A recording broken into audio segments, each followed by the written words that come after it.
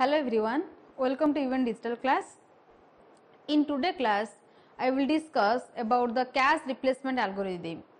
In the previous class, I have already discussed about different mapping techniques which is used in the cache memory. And by using that mapping techniques, we map the memory blocks into the cache lines. So, why we need the cache replacement algorithm actually?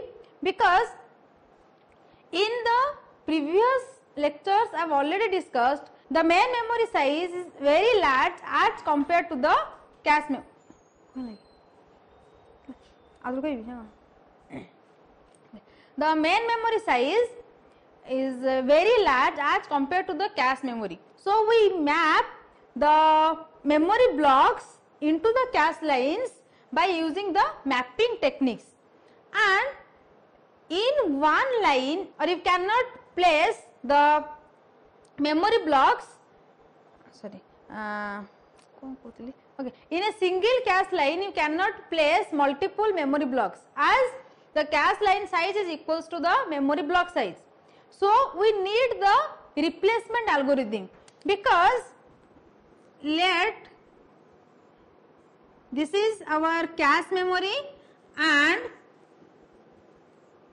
this is our main memory.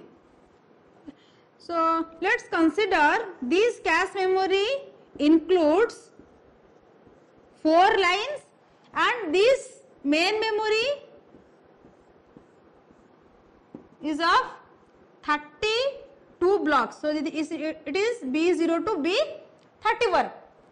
So, when we will map the blocks into the cache memory, let by using the direct mapping technique, then B0 will be mapped into the L0 line, then B1, L1, B2, L2, B3, L3, then B4 again B0 like this.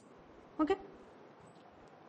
So, when here is our B0, here is B1, B2, B3 like this. But when another block comes into the cache line to be placed, then if the line is empty, then it can easily mapped into that line. But if the line contains another block, then you have to replace that block. Okay. So, basically to replace that block and which block is going to be replaced that is done by the cache replacement algorithms. Okay. So, we will use the replacement algorithms in the mapping techniques. Consider the direct mapping concept. So, as you know in the direct mapping technique the memory blocks are mapped into a specific cache line or you can say the cache line is fixed for a specific memory blocks and it is done by using the formula that is our k mod n.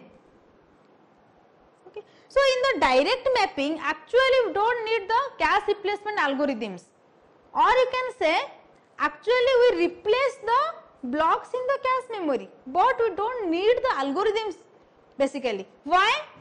Because as I have told you that let this cache memory has 4 number of lines and this main memory have B0 to let B31 number of blocks that means 32 number of blocks in the main memory. So, as I have discussed in the previous diagram like this. So, when let here is our B0, B1 and B2 then B3.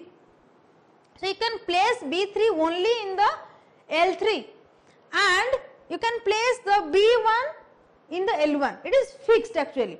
So, let when B17 will come to the cache memory then where it will be placed? It will be placed in the 17 mod 4 because it is the block number and it is the cache line number. Okay. So, where it will be placed? It will be placed in the line 1 as the remainder is our 1. So, here already line 1 contains the block 1 that is why this block 1 will be placed by the B17. Let there another block comes which is B25. Then where it will be placed? 25 mod 4 1 so it will be placed in line 1. So again B17 will be replaced by the B25.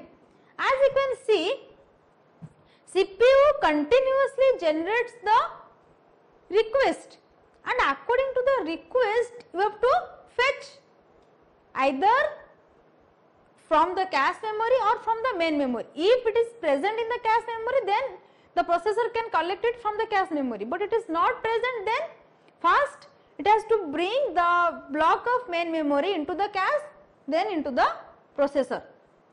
So here you can see whenever the block comes we are not using any type of algorithms we just use this formula and whatever blocks are placed in that line you just have to replace it.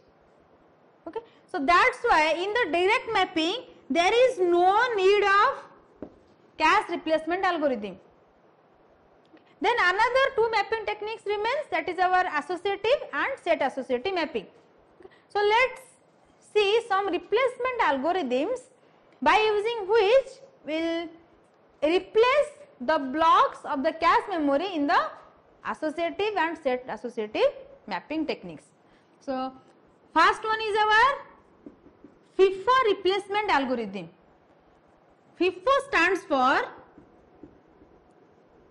fast in, fast out. Okay. That means whatever the block is placed in the line first that will be replaced first.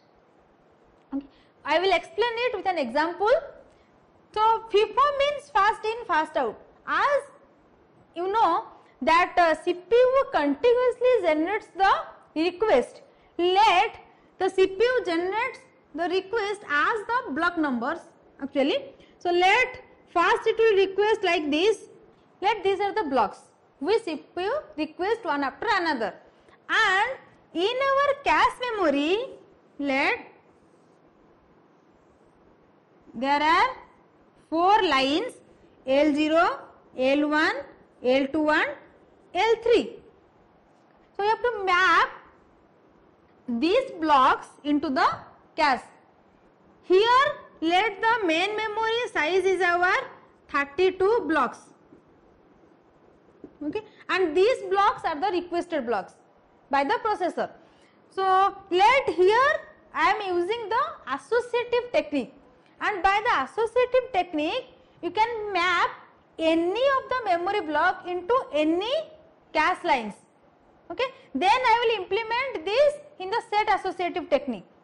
Okay, so, first go to the associative technique. So, in the FIFO first it will come second block or block 2 you can say. So, every line is empty. So, you can place in any line. Then uh, let here is our 2. Then 4 comes and another thing is that when the requested block is present in the cache memory that is the cache hit and if it is not present then that is a cache miss. So, also you have to calculate the hit ratios and the miss. Okay. When we are using the replacement algorithms, how we will compare the replacement algorithms actually because these algorithms are used to increase the hit ratio. More hit then more performance. That means whatever the CPU needs that is present in the cache memory. So let here 2 block 2 is requested but block 2 is not present in the cache memory. So it is 1 miss. Then block 4, so it is not present, then you can place it here anywhere in the cache line. So then 8, then 5, so all are miss, then it will request for 25 and here we are using the FIFO replacement algorithms.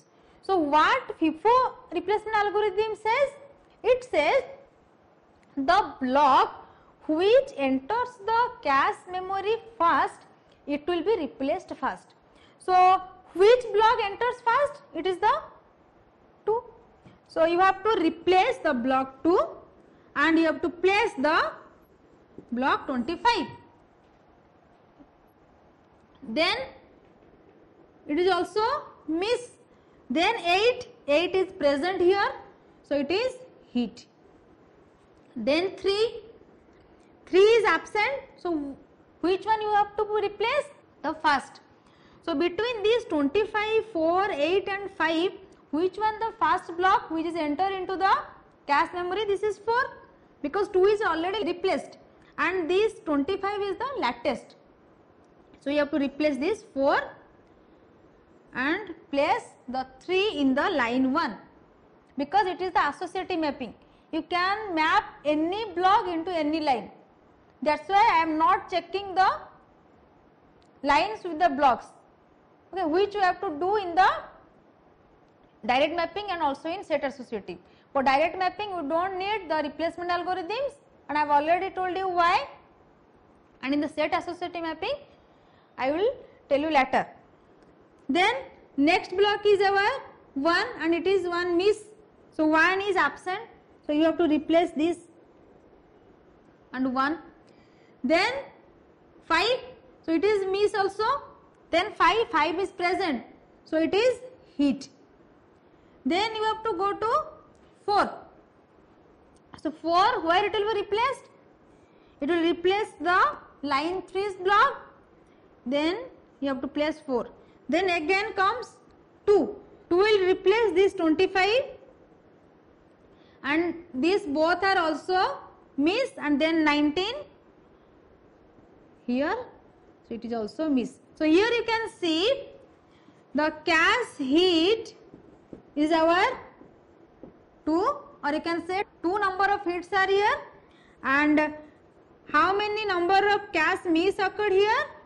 Approximately actually it is 10 misses. So in the FIFO whenever the block comes and the lines are not free then you have to place that block into that line which is filled first. Okay. Let here is another block comes it is let 3 suppose this 3 will replace the 1 it is in the line 2 but as you can see here recently we replace the block 3 which is in the line 1 first. So, this is the disadvantages. Maybe we need that block in our next request, but we do not know that actually. So, due to that reason you can replace the block, but after replacing you may need that block again and again also let it is again 3 again 3 like this continuously. So, here you need that 3 block again and again, but the 3 blocks is replaced and also if let after the block 3 you may need this block 25. So, this is the disadvantages because whenever the block comes you have to place the fast block. But if you need that block in the next moment you do not have that in the cache because it is already replaced by the new block. Okay. So, this is the associative mapping let us replace this also in the set associative mapping. Okay? In the set associative mapping, let there are two sets in the cache memory. Here I let me write. Set number is our 2 that means 2 set associative mapping. And in each set it contains 2 lines. That means 2 way set associative mapping. So, let here is two lines. Let it is set 0 and set 1 and in the set 0 we are having L0 and L1 and in the set 2 we are having L2 and L3 and we have to map these blocks into this cache memory and also we have to use the cache replacement algorithm that is our first in first out replacement algorithm. So let us see how. So first 2. So you know that when you have to implement or you have to map the memory blocks into the cache you have to use a formula that is our k mod m the same formula which is used in the direct mapping. But here k is the block number and m is the number of sets. And here how many number of sets here? Here is 2 okay. So when we'll use this cache memory we have to map the blocks into this by using this formula k mod m so let's see how so first 2 2 that means 2 mod m value is also 2 so 2 where it will be placed? It will be placed in set 0 because 2 mod 2 remainder is ever 0 and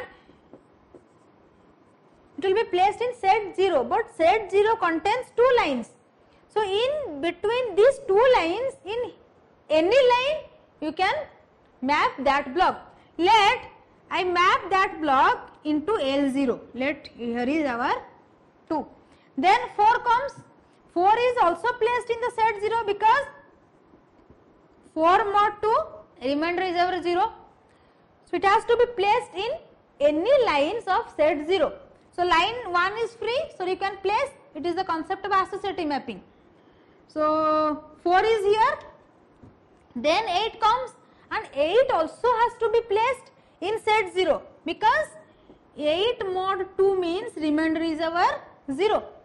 So you have to place that in any lines of set 0 but here both lines are filled. So you have to replace the lines okay. which line value will be replaced the first line which is placed. So which line is filled first here is our block 2 which comes so you have to replace this 2 and you have to place 8 here. Then 5 comes and till this everything is a cache miss. Then 5, so 5 mod 2 is our 1. So in the set 1 the 5 block has to be placed. So let 5 is placed here. Then 25 it has to be placed in set 1. So line 3 is clear or it is empty you can say. So here is 25. Then 8. As you can see 8 block is already present in the cache. So it is one hit and these two are cache miss. So here is one hit and then block 3 comes and block 3 has to be placed in where? In set 1 and here set 1 here in the set 1 block 3 is not present. So it is cache miss and which line will replaced? The first line which is filled that is our 5. So it will be replaced by these 3. Next one is our 1. So 1 mod 2 remainder is our 1. So it will be placed in set 1 in any line. So line 2 is already replaced. Then the recent is our 25 it is the first because the first one is our 5 it is replaced already. So this 25 it has to be replaced by 1. So it is also miss. Then 5 comes. So 5 will be replaced these 3 5 then 4 and 4 is present. It is miss and it is hit. Then 2 so 2 is not present in the cache and when a new block comes you have to check both the sets the complete cache so actually not into the specific set or specific line. So when 2 comes 2 is already replaced. So which one will be replaced? This 4 so it will be replaced by 2 then it, is miss then 19 comes. So 19 mod 2 is our remainder 1. So it will be placed in set 1. So which line will be replaced? So 19 will replace this block 1 and then another 3 so 3 will replace this 5 again. So this is the concept of FIFO replacement algorithm in the set associative technique. That means when the memory blocks are mapped into the cache line by using set associative mapping, then the FIFO replacement algorithms are used in this way to replace the blocks in the cache memory. Okay. So this is the concept of uh, cache replacement algorithm that is our FIFO. Okay. You have to remember one thing in the FIFO algorithm. When the hit occurs and here is one miss and when you have to replace the block you think that uh, uh, here is the 8th block and it is recent. So, it is the recent blocks which insert into the block. Sorry uh, insert into the cache line. But actually these blocks are already placed in the cache memory. So, you have to calculate from how many times the block is placed in the cache line. So, which block is placed for the maximum time that means it comes first. So, you have to replace that block. Whenever it is used recently it does not matter in the FIFO. Okay. So, to overcome some disadvantages of FIFO we use some other replacement algorithms like recently used replacement algorithm, most recently used replacement algorithm like this. But you have to remember this FIFO algorithm in both the cases that is our associative and set associative mapping techniques. And the disadvantages is that when we need the block in the next. Okay. And that block is replaced recently. So you cannot use that block. So you have to replace one block maybe again and again. Okay. so this is one disadvantage is you cannot see the future blocks which the cpu requests so this is the concept of fast in fast out replacement algorithm. And in this class I have already used the replacement algorithms in the associative mapping techniques and also in set associative mapping techniques. Okay, in the next class we will discuss about the LRU cache replacement algorithm and MRU cache replacement algorithm. Okay, so till then thank you.